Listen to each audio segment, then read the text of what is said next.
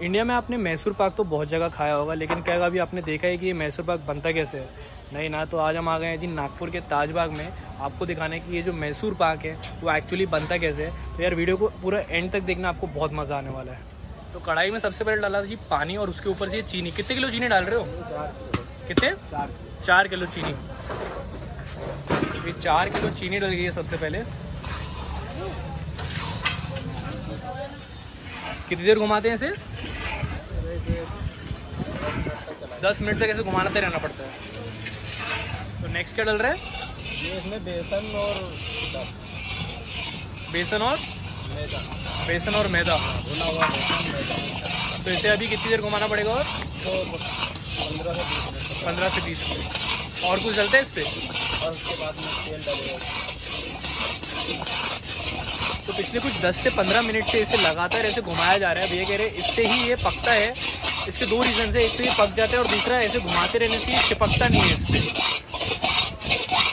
दस मिनट और करेंगे इसे ऐसा? तो ये काफ़ी ऑलरेडी थिक हो चुका है और इसके बाद इस तेल डालेगा। तो ऊपर से ये देख लीजिए जी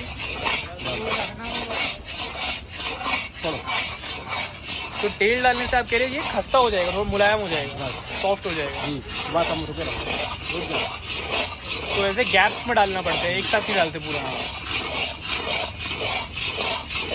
रंग देख लो जी कितना ज़्यादा बढ़िया रंग आ चुका है इस पर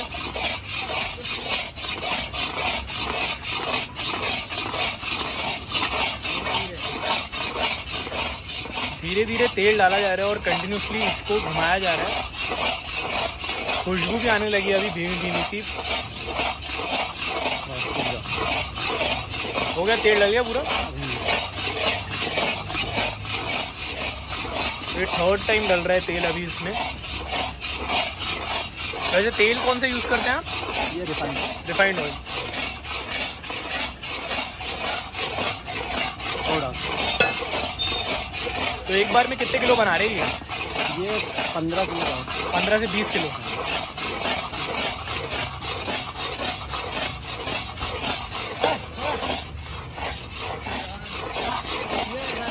तो ये देख लीजिए ये गरम गरम अभी इस पे डाली जाएगी।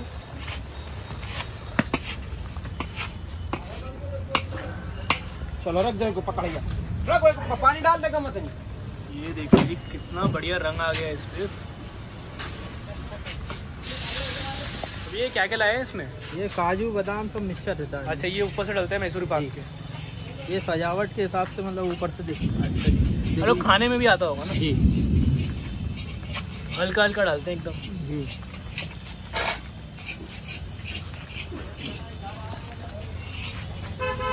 देखो क्या कह रही है वो तो बड़ा। क्रंची रहता है ना काफ़ी?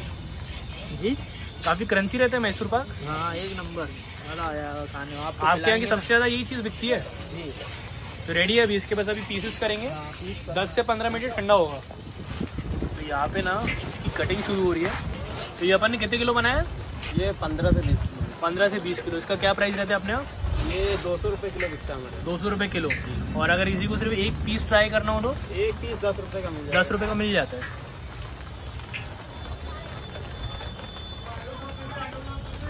काफ़ी छोटे पीस करते हैं। जी।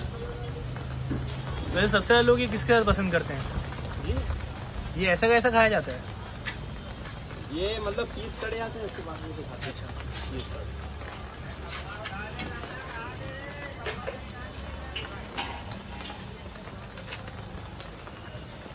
गोली छोड़ी नहीं लाए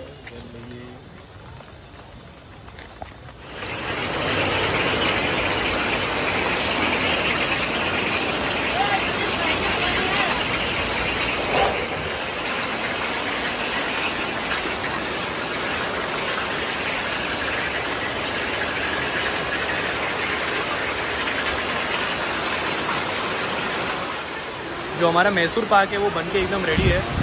और इसे अभी काउंटर पर डाला जा रहा है।